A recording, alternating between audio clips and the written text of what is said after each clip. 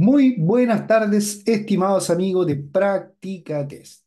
Nos volvemos a encontrar acá en medio de la plataforma para seguir estudiando el libro del nuevo conductor profesional.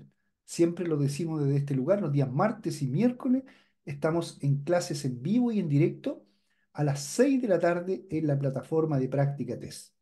¿Cómo hacerlo? Ingrese a practicatest.cl y podrá ver todos los beneficios que le presenta la página en lo que es gratuitamente y como también alumno premio.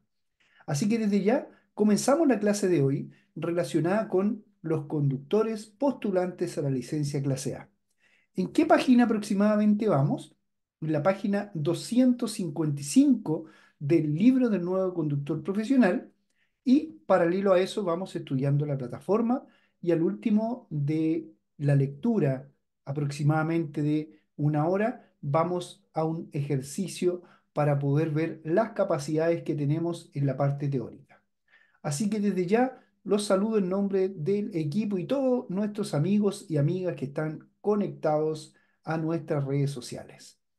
Ya, estimados amigos, voy a comenzar a compartir la pantalla para que vamos leyendo paralelamente lo que nos corresponde a la licencia clase A1, A2, A3, A4 y A5. Siempre recordar que la A1, A2, A3 son para transporte de pasajero, A4, A5 para transporte de carga.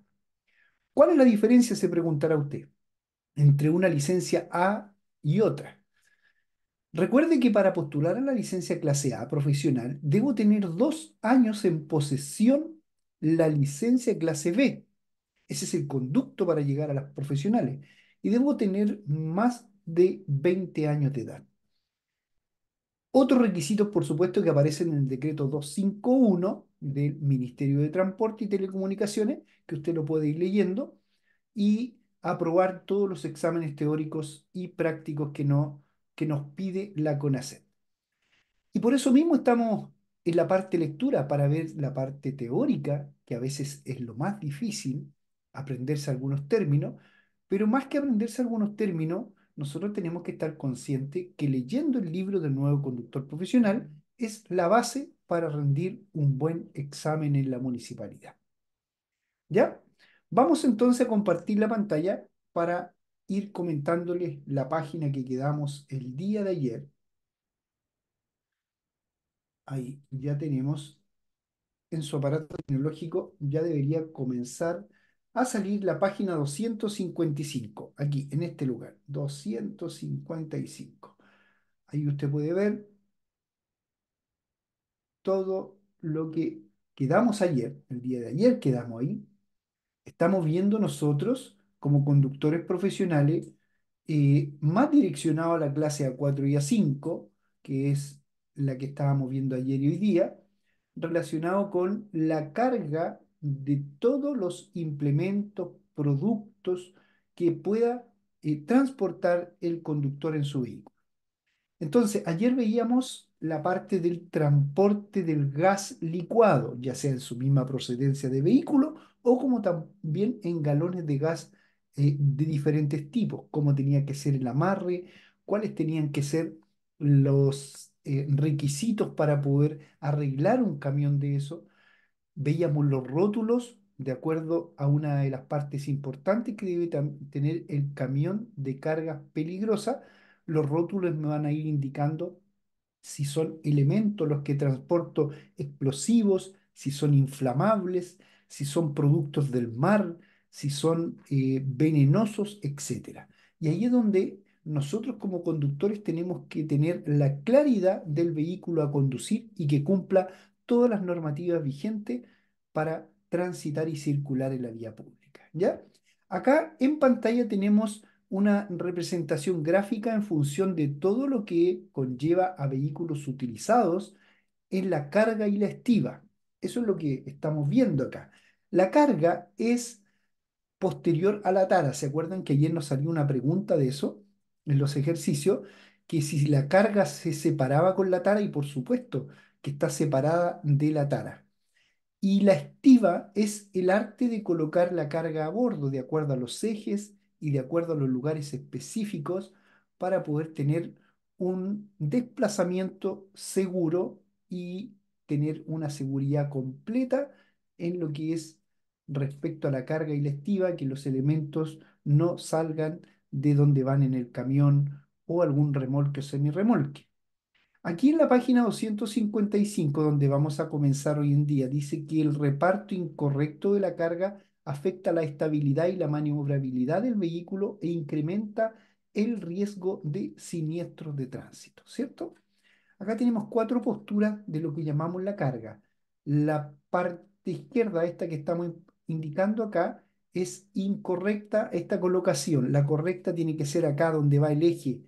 El rodado tiene un eje intermedio que une con el otro rodado. Donde va el eje tiene que ir el peso complementario. Si ponemos la carga adelante, acá es una colocación incorrecta, se puede arquear el bastidor y el bastidor es aquel que une los ejes y se arquea el bastidor, sobrecarga las ruedas delanteras y desgasta eh, todo lo que refiere a la dirección y la dirección queda más pesada. Esta pregunta nos apareció ayer y nos dimos cuenta que realmente eh, nos equivocábamos en responder. A ver, aprovechamos de saludar a Juan Valerio, que ayer estuvo con nosotros respondiendo todos estos tipos de preguntas. Acá también tenemos una colocación incorrecta de la carga, donde nos dice que se puede arquear el bastidor ¿ya? y sobrecargar las ruedas traseras desgastándolas en exceso. Acá tenemos una forma correcta. Nuevamente va en descansando en el eje trasero. Colocar la carga algo adelantada respecto al eje posterior con la carga de mayor dimensión sobre la caja. Acá estamos mirando el vehículo de carga desde la parte trasera. Vemos una carga incorrecta en este dibujo donde se desplaza la carga hacia el costado derecho. Eso está más que claro que en una curva se va a ver más afectado el costado derecho. La colocación incorrecta está en este lugar mirándolo desde atrás, la carga que es en el eje, tendría que ser en el eje trasero doble rodado y en el eje central. ¿Ya? Ahí ya pasamos a la página 256 del libro Nuevo Conductor, así nos indica. Estiva de determinadas cargas. ¿Qué significa estiva? ¿Se acuerda, no? La estiva es el arte de colocar la carga a bordo. Esto ya lo habíamos visto referente a la madera y referente a los troncos, lo vimos ayer. Así que vamos a pasar directo a la plataforma donde tiene otro tipo de unificación de lo que corresponde a las licencias de conducir. Mire lo que dice. Estiva de determinadas cargas. Existen transportes que requieren una atención especial en cuanto a la estiva, motivada por el tipo de carga y el peso. Las que están relacionadas con madera, las vimos ayer, ¿se acuerdan? En el decreto 94 del año 1991, dice que en Chile existe una normativa específica para el transporte de productos forestales. Aquí estamos direccionados a la carga forestal, que afecta a transportes de camión, de remolques, semirremolques y algunos vehículos especiales. La carga, nos dice la normativa chilena, que no debe sobrepasar en más de 3 milímetros al último atril del vehículo.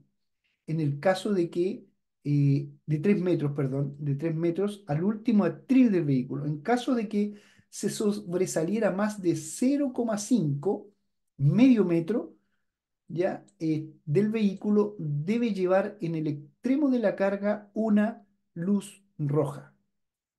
¿Ya? Si fuera de noche y un banderín de género de material de plástico, eh, si fuera de día, de 0,5, o sea, medio metro, por 0,40. Eso si fuera de día, plástico o género. Y si fuera de noche, una luz roja. Todo esto siempre que la carga se sobresaliera medio metros en la parte trasera. El transporte de chips, astillas, acerrín y despuntes debe efectuarse de modo que se impida totalmente el escurrimiento al suelo del producto transportado o su dispersión al aire, por lo que los vehículos deben ser herméticos a contar de una carpa o malla adecuada convenientemente sujetas a la carrocería del vehículo, ¿cierto? Vamos a hablar de los troncos.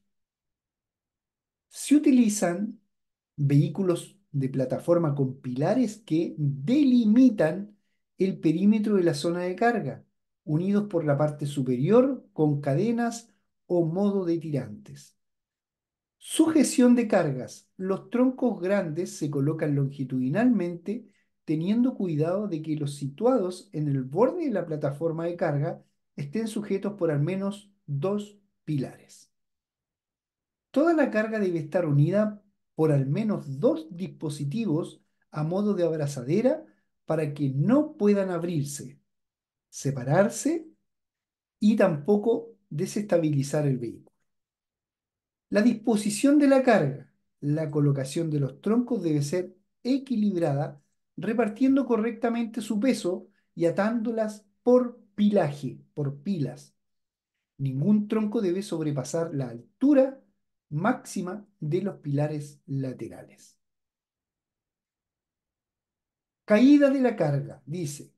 La caída de la carga por la parte trasera se puede evitar con lonas, redes o ángulos sujetos en diagonal. Para evitar la pérdida de los troncos situados en los laterales superiores, se deben utilizar ángulos sometidos a tensión vertical.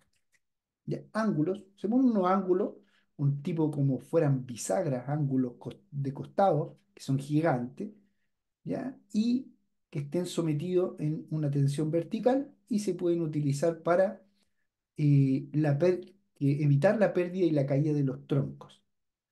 Vamos a hablar ahora de tableros. Cuando hablamos de tableros ya no hablamos de algo pequeño, sino que dice que el principal problema del transporte de estos es la altura y el deslizamiento, motivo por el cual es preciso disponer material antideslizante en el suelo y entre las cargas. Las cinchas deben estar debidamente protegidas y tensionadas durante tornos. Listones y tablones. Debemos cargar respetando una orden para que no queden amontonados de forma irregular, dificultando la fijación determinada de piezas y provocando la consiguiente pérdida del amarre. Se debe disponer el empleo de cantoneras y un número mínimo de 2 a 3 por cada grupo de listones o tablones.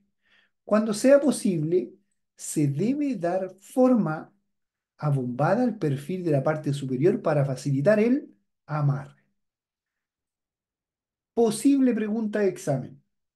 La lluvia, el hielo, la nieve y la humedad en general reducen el rozamiento entre los tableros, los tablones o troncos. Por eso, si es preciso, deben utilizarse una banda de caucho para aumentar la fricción entre las piezas. Para los que estuvieron ayer, ayer nos apareció esta pregunta, ¿ya? Y pudimos responderla de buena forma para los que estuvieron ayer, no sé si recuerda Juan por ahí que respondió todas buenas, Juan. Los demás se iban equivocando y Juan tenía todas buenas. Así que vamos a ir, antes de pasar a las relacionadas con el metal, vamos a ir a ver un videito referente a cómo deben ir las cargas. Acá lo tenemos.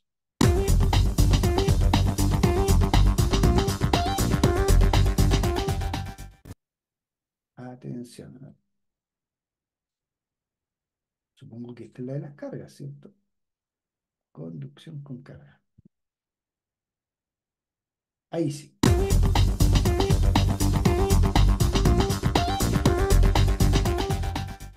Con carga. Una carga pesada puede modificar la maniobrabilidad de su vehículo.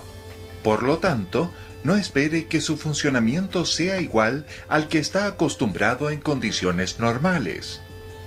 La aceleración será más lenta y las distancias para detenerse aumentarán. Encontrará que se ladea más en las curvas y necesitará más espacio para adelantar.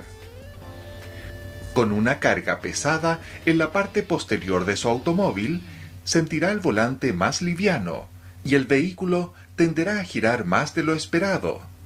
También pueden salirse de foco los faros delanteros. Con una carga pesada en la parte delantera, tenderá a girar menos. Un portaequipajes en el techo o un pequeño remolque le permitirá una distribución más uniforme de la carga. Al poner carga en el interior de su vehículo, no obstruya la visión de las esquinas traseras ni el campo visual del espejo retrovisor. Nunca lleve objetos duros, con puntas o pesados en el estante de atrás, ya que con un pequeño choque o una frenada brusca pueden transformarse en verdaderos proyectiles. Al llevar carga extra, la presión y tamaño adecuado de los neumáticos son muy importantes. Para su seguridad, es probable que los neumáticos necesiten más aire o quizá que sean de mayor tamaño. Consulte para ello el manual del vehículo o a quien se lo vendió. Controle las sujeciones de la parrilla. Procure que la carga no pueda desplazarse al frenar, al girar o acelerar, sujetándola firmemente. Si cubre la carga con una lona, considere el efecto del viento producido por la velocidad. No sobrecargue la parrilla. Tenga en consideración la estabilidad del vehículo y la resistencia del techo.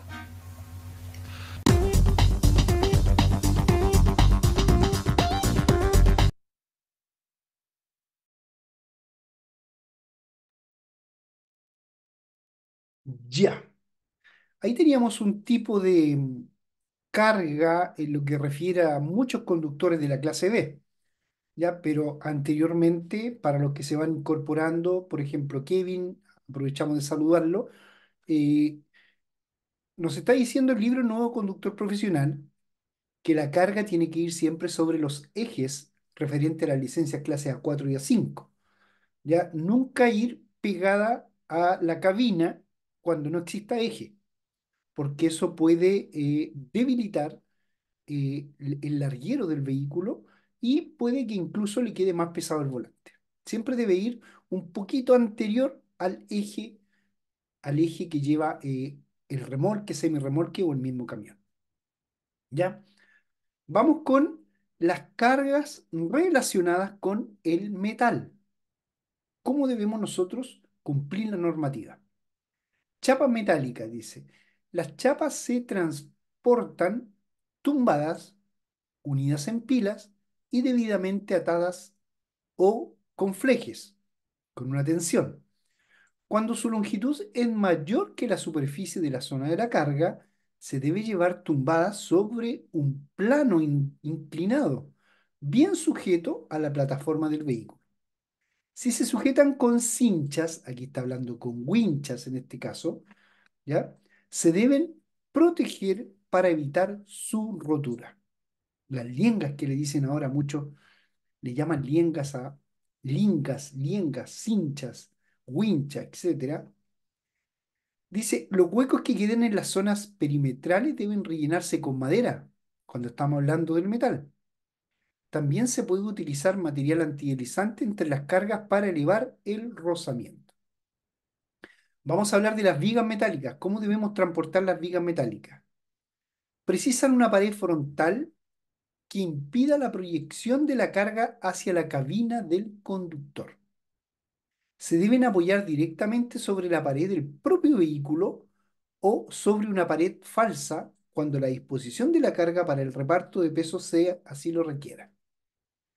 Para asegurar la carga transversalmente se usan estacas debidamente dimensionadas. Cuando se puedan cargar las vigas por paquetes, se rellenan los huecos también con madera, los espacios con madera. Vamos a ver las varillas metálicas, muy similares a las varillas de madera. Requieren una pared frontal que impida la proyección de las varillas, ya que podrían atravesar la pared de la cabina como si fueran flechas. Se deben llevar en fajos debidamente atados o con flejes y fijados con cinchas o abrazadera. Si el transporte se realiza en un vehículo de caja abierta, cuando la carga sobresalga por delante, debe apoyarse en la parte superior de la cabina y contra la pared posterior de la caja o contra el tope previsto al efecto. Deben ir eh, con base, deben ir afirmada en una base. Mallas metálicas. El principal problema es la gran abrasión que puedan causar las cinchas si no están debidamente protegidas. Bobina, estamos hablando de metales. El transporte de bobinas de gran volumen y peso se realiza en vehículos acondicionados con cuñas, previstas para alojar y asegurar mejor la sujeción de la bobina. En vehículos de superficie lisa, en la plataforma, es importante determinar la posición vertical o horizontal de la bobina según criterios de estabilidad y equilibrio. Las bobinas de mayor tamaño y peso se acomodan en la parte delantera, de mayor tamaño y peso. Atención con eso. Tubos, estamos hablando de las bobinas, anótenlo. Deben rellenarse los espacios para evitar movimientos, usar cuña en la base y entre pisos para evitar desplazamientos laterales. Bidones y barriles. La facilidad del deslizamiento de latas, bidones, barriles, etcétera, requieren adoptar medidas específicas. Ya se pasa a otro tema. Si están paletizados, estos barriles, estamos hablando de los bidones o barriles, si están paletizados en pallet, se debe comprobar que el pallet esté reforzado y que la superficie interior permita su apilamiento de forma estable y uniforme. Son necesarias dos cinchas como mínimo para la sujeción segura de cada pareja de bidones. En algún caso, se pueden utilizar pales en posición vertical y con refuerzos interiores para distribuir correctamente la presión ejercida por el amarre y evitar que resbale. Para colocar un segundo piso, se intercalan tablones o un elemento que haga esta función en la parte superior. Se emplean maderas y cantoneras de gran longitud que permiten una fijación segura mediante amarres verticales y cruzados en la parte delantera y trasera. Para colocar varios pisos, estamos hablando de pallet, varios pisos, se debe, se, se debe ser especialmente selectivo en las capas intermedias y en el uso de sistemas que permitan asegurar su sujeción con una mayor presión vertical sobre la carga. De esta manera se evita el peligro de colapso de la carga o de sus laterales con los consiguientes riesgos y la pérdida total o parcial de la mercadería. Otro tipo de mercadería, hay muchos tipos de mercadería. Acá tenemos fardos de paja, bloques pesados, transporte de vehículos que tienen una excepción extraordinaria en lo que habla de altura, vidrio, graneles y piezas sueltas en caja. Vamos a, vamos a hablar de esta otra mercadería, acá le llaman mercancía, pero se llaman mercadería, ¿ya? Vamos a ver en qué página más o menos iríamos. Ahí están los tableros, la lluvia, la humedad, el metal, ahí están la parte metálica combinada con la madera. Ahí estamos hablando de las bobinas, de los tubos, bidones y barriles. Aquí ahí van puestos en, la parte de la carga, si están paletizados. Entonces, otro tipo de mercadería, ¿ve? Pero lo hice mercancías. Vamos a la página 259 del libro Nuevo Conductor. Seguimos. Otro tipo de mercaderías. Farda de paja. Según la resistencia de las paredes del vehículo, se deben emplear correas verticales y tirantes longitudinales en ambos sentidos. La carga debe cubrirse cuando exista la posibilidad de que sufra desprendimiento. Esto recuerde que se hace con una lona. Bloques pesados. Conviene distribuir el peso aumentado en la superficie de apoyo mediante largueros. Siempre se debe apoyar la carga sobre la superficie más grande. Las cargas con mucho peso y poco volumen no se deben situar en los extremos de la plataforma para evitar su arqueo. Y un reparto inadecuado de masas que afecte a la adherencia. El desgaste y la tracción y el desgaste y la tracción. Vamos a ver con el transporte de vehículos. Se realiza en vehículos específicos, ya sea porta vehículos. Disponen de sistemas para facilitar la carga y la descarga y elementos que permiten inmovilizar y anclar los vehículos transportados mediante cables, cadenas o correas. Para emplear dichos sistemas se requiere una formación específica. Cuando se inmoviliza el vehículo transportado con cuñas que han enganchado del tren delantero o trasero, se deben colocar de forma longitudinal tanto por delante como por detrás de las ruedas.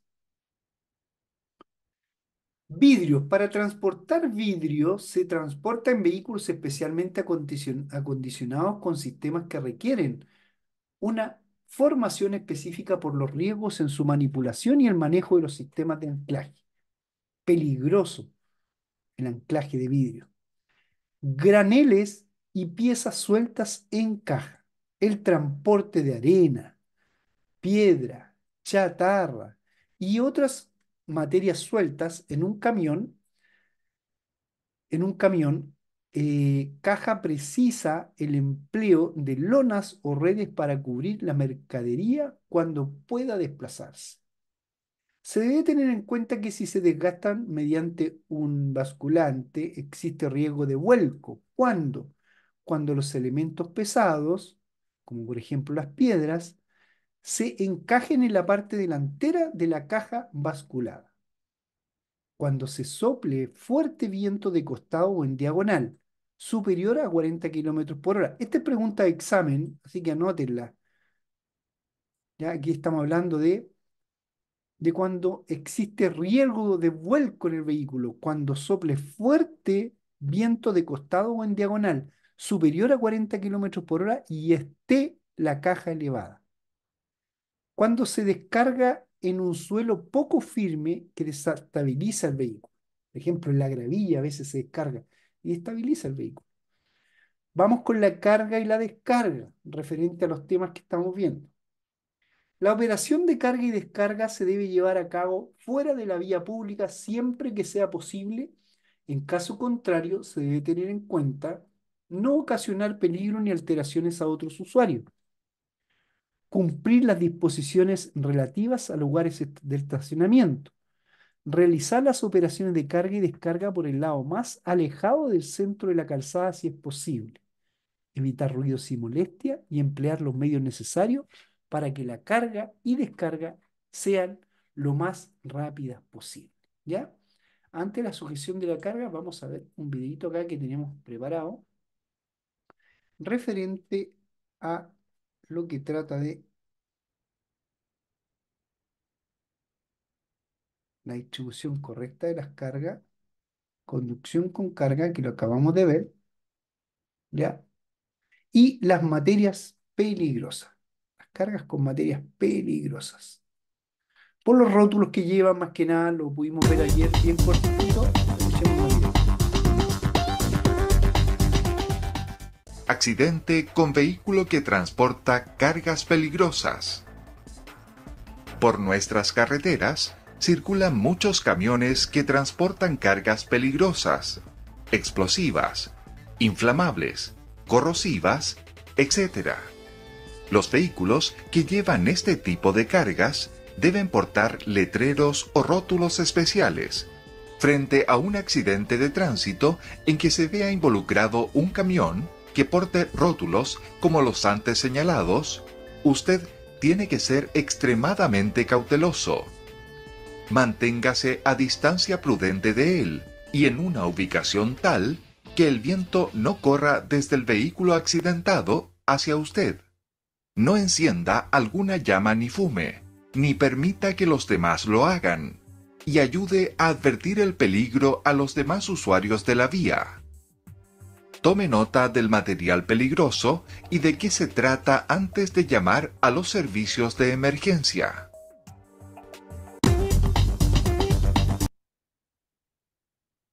Eso era en caso de que usted se encuentre con algún tipo de siniestro de tránsito que tenga cargas con materias peligrosas, ¿ya? Entonces, esa es la idea de la carga y la descarga. Vamos con la sujeción de la carga, cómo sujetamos la carga. Aprovechar de ir avanzando en el libro El nuevo conductor profesional. Ahí tenemos la carga y la descarga y la sujeción de la carga. Mire, aquí aparecen algunos rodillos trinquete para que los podamos ver. Esto le llaman mucho la lienga, que pasan por ahí los, eh, todas las, las winchas. La sujeción de la carga, dice, la carga debe estar sujeta al vehículo de tal forma que pueda soportar las distintas fuerzas a las que pueda ser sometida. ¿Ya? Para ello existe una serie de accesorios fabricados cumpliendo normas específicas, impresas en la etiqueta y homologados que pueden ser mantenidos en buen estado para garantizar la seguridad. Entonces aquí podríamos estar hablando de una seguridad pasiva o una seguridad activa. ¿Qué me dicen ustedes? Una seguridad pasiva, ¿cierto? Pasiva, porque me, en caso de cualquier golpe o algo no se me desprende la carga. El uso adecuado de este tipo de accesorio implica conocer sus normas de utilización y sus características de resistencia. Facilita por el facilitadas por el proveedor o impresas en las fichas de seguridad. Los accesorios integrados a estos son aquellos que vienen instalados o de forma o que forman parte del equipamiento del vehículo permanentemente. Acá tenemos los rodillos o trinquetes, ¿ya? En ese dibujo. Entonces nos dicen que permiten fijar las winchas o cinchas, como sale acá, los cables o cadenas y suelen estar ubicados en la periferia del vehículo, o sea, al costado del vehículo, bajo la superficie de la zona de la carga. Lo ideal es que la correa, el cable o el medio de amarre utilizado pase por el interior de las paredes hacia el torno. Para que la sujeción sea correcta, esté bien repartida y no genere más tensiones en el lado en un lado que otro, se reparten alternativamente a ambos lados del vehículo. Sin embargo, al estar en el exterior del mismo, deben ser controlados de forma periódica para detectar posibles deterioros o malos funcionamientos. Ya ahí se van conectando varios amigos, así que aprovechamos de dar la bienvenida a cada uno de ustedes. Eh, no se vayan, quédense hasta el final, porque ayer eh, nos dimos cuenta que parte de las preguntas de todo este estilo no son fáciles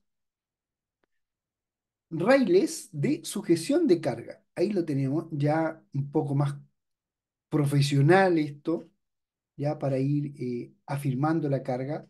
Son montados en los laterales, eh, ya sea verticales o horizontales, en el piso o en el techo de la zona de carga que permiten anclar o acoplar barras telescópicas, soportes para vigas, barras para carga suspendidas, cinturones de amarre con gancho. Esto lo traen varios hoy día. Hay muchos camiones tres cuartos que tienen estos perfiles que ayudan a, son perfiles montados laterales que ayudan a poder hacer una amarra más concreta. Barras telescópicas. Dice, pueden ser ajustables, fijas o acortables por el usuario redondas o cuadradas, también pueden acoplarse a una guía o anclarse por rozamiento o por presión entre el suelo y el techo, teniendo cuidado de que no, de no sobrevalorar su resistencia. Ahí están, ¿ven? Acá el cónico, el cónico doble, el cilindro y el pie de goma. Si no forman parte de la dotación del vehículo y hay que adquirirlas por separado, se debe comprobar que el anclaje sea compatible con los rieles del vehículo, con los ganchos del vehículo. Engaches y puntos de anclaje, dice, distribuidos por la zona de carga, en ocasiones se utilizan como tales parte de la propia estructura del vehículo. Vigas, tablas y guías para doble piso se utilizan para tener segundo, un segundo, incluso un tercer nivel de carga y en algunos casos para sujetar cargas pesadas cuando no se utilizan y pueden deslizarse de forma que no ocupen espacio en la zona de la carga. Barras para carga suspendida, utilizadas cuando la carga debe transportarse de ese modo. Accesorio de tracción, cinchas, ¿se acuerdan? Correas de amarre. Mire, las correas de amarre. Ahí tenemos lienga, le dice mucho a estas correas de amarre. Al final vienen siendo como cinchas lo que dicen acá. Dice, son uno de los accesorios más usados por los propietarios y por sus propiedades, ya sea la resistencia y el estiramiento. Están fabricadas con diferentes materiales. Para distinguirlo hay que observar su etiqueta de la calidad. ¿Ya? Son azul de poliéster, que son las más usadas. Verdes para, para las de poli- poliimida, de marrón para las de propi- pro- prolipopileno o propipileno y pueden ser abiertas o cerradas. La etiqueta que acompaña las correas reportada de datos importantes como resistencia a la rotura y tienen capacidad de amarre y alargamiento. A la hora de manejar las correas, punto importante, se deben evitar las aristas. No se deben anudar, pues pueden llegar a perder un 70% resistencia. No se deben retorcer, pues pierden la eficacia. El trinquete sensor, este que tira, permite conseguir el efecto de trincado deseado. No se debe sobrecargar el amarre mediante palancas, barras o etcétera. No se debe usar para elevar la carga, sino para prensarla. Se debe observar el ángulo de amarre respecto a la horizontal para evitar la pérdida de resistencia. Bueno, ahí la tienen bien clarita. Las conocen la mayoría de ustedes. Se dan cuenta, acá tenemos una relación de ángulo de resistencia. Ángulo de 30 grados, una resistencia de 50%. Ángulo de 45 grados, 71%. ¿Ves? Siempre es, el ángulo tiene que ir eh, con un porcentaje real. 60% de ángulo, 87%. 90% de ángulo, 100%. Mientras más ángulo tenga de amarre, tiene mejor resistencia. Es lingas, que son las liengas que le dicen mucho. Es lingas. Cables metálicos, ahí están. Métodos para tensar los cables. Ahí tenemos un torniquete, tenemos tensores, cadenas, tornos, que ustedes los pueden ir echando una miradita. Esto lo pasamos rápido porque la verdad que son accesorios. Y justamente acá dice, accesorio de compresión de madera, las cuñas. Pregunta examen, a ver. Al ser fácil de trabajar, la madera permite realizar diferentes formas geométricas para adoptar las piezas necesarias en poco tiempo. Estamos hablando de las cuñas. Se deben utilizar por medio de clavo tornillo, evitando las zonas vetadas con anillos eh, concéntricos, pues puede abrirse de manera generalmente. Las cuñas se fijan con la cara más larga contra el suelo y se utilizan dos clavos totalmente verticales y uno más en diagonal. Ya. Vamos a ir con las preguntitas del caso de hoy. La página 263, ahí estaríamos quedando, para que vamos directamente a lo que nos conlleva hoy. Plataforma. Plataforma. Recuerden que esto, eh, esto es bien bueno lo que vamos a realizar ahora. ¿ah? Aprovechamos a saludar a Jairo que se va conectando con nosotros. Ayer, el día de ayer no nos fue muy bien aquí, así que viene la revancha. Ustedes son los que responden, recuerden bien, sacamos una estadística de quiénes son la mayor respuesta en la alternativa y las vamos complementando. Ya muchachos y muchachas que estamos conectados. Número uno dice, las cargas que vayan a ser descargadas en último lugar se deben colocar al fondo del espacio de la carga. Letra A, verdadero. Letra B, falso. Ya comenzó facilísimo esto. Ya por interno ya muchas letras A. En el chat también letra A. Correcto. Vamos con la segunda. Siempre rápido ustedes. Los rótulos, acuérdense los rótulos, a los que se refiere la normativa chilena de la normativa número 2190 deben ser visibles por personas situadas. ¿En qué lugar? Letra A, al frente, atrás o a los costados de los vehículos. B, solo en la parte delantera. C, en los costados. ¿Qué me dicen ustedes? A ver, vamos viendo, vamos viendo ¿Qué nos responden ustedes? Jairo ya nos responde, dice que al frente, atrás o a los costados del vehículo. De la misma forma, nuestros amigos internos con código usuario, letra A. Juan Valerio también se inclina por la letra A. Correcto, vamos siguiendo. Las preguntas, recuerden que de ahí se van poniendo más difícil. La sobrecarga por eje aumenta, letra A, la distancia de frenado. B, estropea y acelera el desgaste de los neumáticos. C, dificulta el control de la velocidad y aumenta el efecto de las pendientes. D, todas las mencionadas. La sobrecarga por eje va a aumentar todo esto, ¿será así? Jairo nos dice letra D, Juan letra D, esperamos por ahí a Kevin, y también los códigos usuarios, letra D. Correcto, todas las mencionadas. Número 4. No deben cargarse juntamente cargas que puedan perjudicarse entre sí, tales como, la letra A nos dice todas. B. Materias humedecidas con aquellas que se ven afectadas por la humedad. C.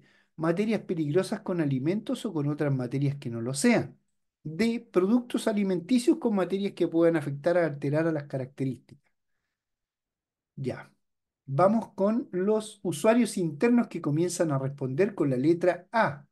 En el chat también van con la letra A. Correcto. Por ahí está Kevin. Muy bien, Kevin. Letra A. Número 5.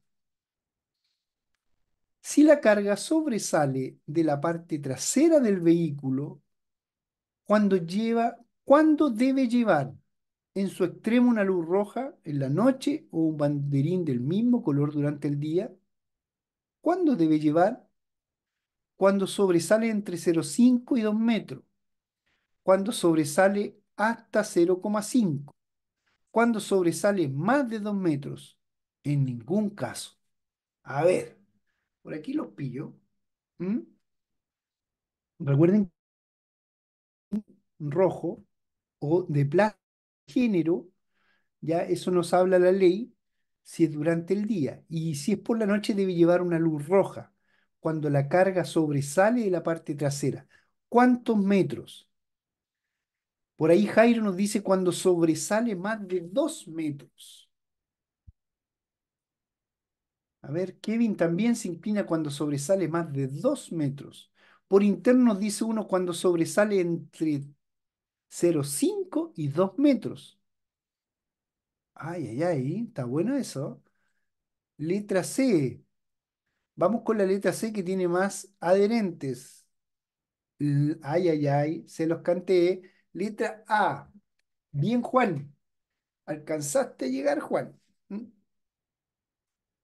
Ahí ya tenemos una. Juan no equivocó. Así estábamos ayer. Y Juan siempre le apuntaba, aunque fuera mínimo, aunque fuera mínimo el porcentaje de los que optaban por alguna alternativa, Juan siempre le aportaba ahí. Número 6. Bueno, voy a referir, voy a volver acá para explicar bien la número 5. ¿Ya? Si bien es cierto, cuando sobresale la carga, tiene que haber un banderín rojo, ¿se acuerdan? De color rojo, eh, de género de plástico durante el día y en la noche una luz. ¿cierto? Eso lo tenemos claro. ¿Cuándo? Cuando pase los 0,5. ¿Y hasta dónde? Hasta 2 metros, miren. La carga que sobresalga por la parte trasera más de 0,5 metros se debe señalizar con luz roja y con un banderín de género y plástico, tanto, ya, a lo largo por 0,40 de ancho, amarrado al extremo de la carga. ¿Ve? Y aquí es donde dice, ¿por qué llegas hasta 2? Sobresalir por la parte trasera más de 2 metros. La carga no debe sobresalir por la parte trasera más de 2 metros. Y si sale de 0,5 a 2 metros, es lo que dice acá. Vamos con la 6. ¿Qué utilidad tiene la madera en la estiva de una mercadería? ¿Qué utilidad tiene una madera en la estiva de una mercadería? Rellenar huecos entre mercancías, aumentar el peso de la carga, elevar la posición de la carga. ¿Qué hace una madera? Rellena los espacios, ¿cierto? Por ahí nos dice Juan, Jairo, internamente algunos usuarios se inclinan por la letra A. Vamos con la número 7. Los vehículos que transporten materiales sólidos o líquidos que puedan escurrirse y caer al suelo, ya sea desperdicio, arena, ripio, tierra, etc., deben estar construidos de forma que esto no pueda ocurrir. U, verdadero o falso. A, verdadero. B, falso. Ya tenemos dos verdaderos por acá. Tres, cuatro. En el chat todos, la mayoría verdadero, internamente lo mismo. Correcto. Vamos con la 8. En curvas y giros se debe intentar circular con marchas bajas, marchas altas, marchas medias. Uy, uy, uy. En curvas y giros se debe intentar circular con qué marcha. ¿Mm? Vamos a esperar que nos responden. ¿Marcha media, Jairo? ¿Crees tú así? A ver, ¿quién más? ¿Marchas bajas o marchas altas? ¿Marchas medias, bajas o altas? Juan Valerio dice altas, que está hablando en curvas y giros. Se debe intentar circular con marchas. Uy, uy, uy, nadie le puso baja. Ya, voy a ir con en el chat que se inclina más por la letra B. ¿Ya? No le tengo mucha fe, eh, Juan. Bien. Juan siempre la apunta, ¿cierto? Letra B es la correcta. Vamos con la número 9. Para optimizar el consumo de combustible, ¿qué se recomienda en las pendientes ascendientes, ascendientes, subidas? Seleccionar la marcha adecuada para que las revoluciones se queden en la parte alta de la zona de empuje. B. Circular siempre a una velocidad elevada. C. Mantener el acelerador poco pisado. Se inclinan por la letra A. Internamente letra A. En el chat también letra A. Bien, Jairo, vamos con la letra A, que es la correcta. La marcha adecuada para que las revoluciones se queden en la parte alta de la zona de empuje. Número 10. Acuérdense que esta nos salió ayer y hoy día la vimos. ¿Cómo se evita el efecto ola en las cisternas? Letra A. Para minimizar el efecto, se instalan rejillas en el interior de la cisterna que dividen una gran ola en varias más pequeñas. B. Se instalan rompeolas o mamparas en el interior de la cisterna que dividen una gran ola en varias más pequeñas. C. Se instalan bolas en el interior de la cisterna que dividen una gran ola en varias más pequeñas. A ver, a ver, vamos. Vamos, vamos con la letra A o la letra B. ¿Ya? Se instalan rompeolas o se instalan rejillas. Miren, aquí hay algunas cositas. ¿Y cómo se llamarán eso? ¿Rompeolas o rejillas? Letra B nos dicen en el chat. Vamos a revisar si la ve. Correcto. Rompeolas separado en el interior y dividen una gran cantidad de olas más pequeñas. Número 11. Cuando la cisterna está llena al 50%, su conducción es más difícil, es más peligrosa o es más fácil. A ver, cuando la cisterna está llena en el 50%, está a la mitad, ¿su conducción va a ser más difícil más peligrosa o va a ser más fácil? ¿Mm? Peligrosa nos dicen en el chat. Sí, peligrosa nos dicen en el chat. Difícil también. Uh, sí, puede ser difícil y peligrosa, pero una es la correcta. Internamente también nos dicen peligrosa y es peligrosa. ¿Por qué? Porque siempre la cisterna debería estar llena.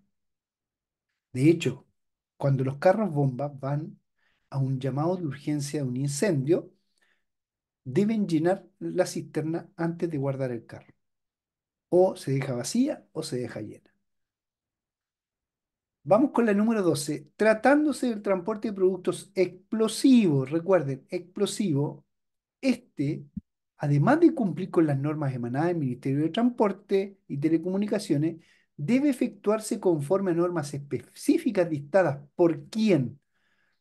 Ministerio del Medio Ambiente, ninguno de los mencionados, Ministerio de Economía, Ministerio de Defensa y Minería. A ver, ¿cuál será la correcta? Vamos, a ver. Fácil, esta materia la pasamos ayer. Esta materia la pasamos ayer. Por ahí Jairo, Juan, nos indican el Ministerio de Defensa y Minería, Kevin de la misma forma, y por interno también Ministerio de Defensa, pues chiquillos, muy bien. Vamos con la número 13. En caso que el techo de un camión esté compuesto por varias lonas, estas se colocarán desde atrás hacia adelante, desde adelante hacia atrás, de cualquier forma, si están bien amarradas. Oh, ayer se cayeron en esta. A ver, de atrás hacia adelante. A ver, de atrás hacia adelante. También Juan de atrás hacia adelante. Kevin de la misma forma. Jaire también, letra A, de atrás hacia adelante. Internamente, letra A, de atrás hacia adelante. Correcto. Ya estamos mejor que ayer. 14. La posición de carga más favorable es pegada al cuerpo, ¿cierto? Estamos hablando de la carga eh, como un tipo de servicio personal, no, no en la parte eh, transporte. En el área comprendida entre los codos, cuando los brazos doblados y pegados al tronco forman aproximadamente, aproximadamente un ángulo recto. Así. ¿Será verdadero o será falso? ¿Qué me dicen? ¿Cómo la está tomando la persona acá? Verdadero nos dicen en el chat. Verdadero también. Verdadero. Interno, verdadero. Kevin termina con verdadero también. Estamos. Número 15. En relación con los camiones, ¿qué significa el término tara? Hoy día comenzamos la clase de esa forma. ¿Qué significa el término tara? El peso del camión sin carga, la capacidad de carga, el peso del camión con carga. ¿Qué será la tara? El peso del camión sin carga, nos dicen en el chat. Todos postulan a la misma alternativa, letra A. Y en internamente, letra A. Correcto. Vamos con la número 16. ¿Cuáles son los riesgos al conducir un camión cisterna? El volumen, los movimientos que se generan al interior del estanque o la temperatura. uy, vamos con los internos, nos dicen letra B. Jairo también, letra B, por el chat. Juan, letra B. Internamente, letra B. Correcto. Vamos con la siguiente. Riesgo del camión cisterna que lleva agua. Movimiento en el interior del estanque. Número 17. La normativa chilena 2190 sirve para qué? Acuérdese que son rótulos estos. Establece los rótulos que tienen que llevar los vehículos que transportan cargas peligrosas establecen los tipos de extintores que tienen que llevar los vehículos de, transporte de cargas peligrosas, establecen los neumáticos que tienen que llevar los vehículos de transporte de cargas peligrosas. La 2190, ¿qué hace? Letra A, todo en el chat, letra A, letra A, internamente letra A, y es correcto porque estos son los rótulos que me van a identificar si hay explosivo, si hay producto inflamable, si hay uno comburente, si hay uno que tiene veneno, otro corrosivo, otro que es radiactivo, etc. Número 18. Con respecto a los servicios interurbanos de transporte de carga, menciona la respuesta correcta. De transporte de carga, estamos hablando de servicios interurbanos. La A decía todas las mencionadas. La B, en ningún caso el conductor puede manejar más de cinco horas continuas después de ese periodo de conducción de tener un descanso de dos horas. Estamos hablando de interurbanos, hacia afuera, no rural, o sea, no, no urbano. C, si el descanso se realiza total o parcial a bordo del vehículo, debe contar con una litera adecuada para el descanso o una cabina. D, no pueden trabajar más de 108 horas mensuales, 180, distribuidas en menos de 21 días, además de cada 24 horas deben tener un descanso mínimo de 8 horas sin interrupciones. ¿Cuál es la correcta? Tal como ya lo han dicho muchos de ustedes, la letra A, todas las mencionadas, ¿cierto? Se inclinan todos ustedes en el chat y en... Correcto, verde, 18. Quedan dos, vamos, para que no nos equivoquemos igual que ayer. Ah, pero esta ya no salió, pues. A ver. Durante la carga, descarga y aseo, los vehículos de transporte explosivo deben estar frenados y acuñados y conectados a tierra directamente de un cable conductor de cobre. ¿Será real eso? ¿Será necesario? Letra A, falso. Letra B, verdadero. ¿Será necesario? tener un cable conectado directamente a un cable de, de conductor de cobre? Juan nos dice letra B, verdadero. Por interno dice letra A, falso. Jairo nos dice letra B, verdadero. Vamos con la última, verdadero. Vamos con la última, chiquillos en una pendiente, tal como dice el vehículo, bajada pronunciada, ¿qué acción se debe tomar? Letra A, utilizar permanentemente el freno de pie. Letra B, enganchar en el cambio de velocidad correspondiente. Letra C, presionar el pedal del embriague. A ver, engancharnos, dicen algunos, en el cambio de velocidad correspondiente. También, letra B, letra B, todo letra B. Internamente, letra B también. Correcto, vamos a ver, hoy día sí que aprobamos, pues chiquillos, solamente un fallo, solamente un fallo. ¿Se acuerdan cuál era el fallo? El número 5. Si la carga sobresale de la parte trasera del vehículo ¿Cuándo debe llevar en su extremo una luz roja en la noche o un banderín del mismo color durante el día? Cuando sobresale entre 0,5, medio metro, y 2 metros. Ya, téngalo muy, muy claro. Bueno, ahí me hacía la pregunta adelante, un alumno interno, ¿qué pasa con los, con los camiones que transportan estos tubos de cobre que son de, del norte y a veces sobrepasa los límites de peso, de longitud, de ancho, y todo. Bueno, es una excepción que aparece en la normativa chilena. Dice que todos los las cargas que sobresalen de los pesos establecidos por ley y las dimensiones establecidas por ley deben tener una comunicación directa con el Ministerio de Obras Públicas, con vialidad de la municipalidad correspondiente y con carabineros de Chile para que adopten las medidas de seguridad en el transporte que ha sido autorizado. Se debe pagar también un impuesto, ya que eso eh, lo pone el MOP, Ministerio de Obras Públicas, en el Departamento de Vialidad de Tránsito de la comuna correspondiente. De ahí se coordinan entre para que en un momento específico, un horario específico, puedan transitar y circular estos vehículos con cargas indivisibles, cargas que no se pueden separar. ¿Ya? Eso aparece aproximadamente por ahí los artículos 55 al 65. Ya, estimados amigos, dejo de compartir para despedirme de cada uno de ustedes y agradecer su sintonía. Esperemos que tengan un muy, pero muy buen descanso el día de hoy.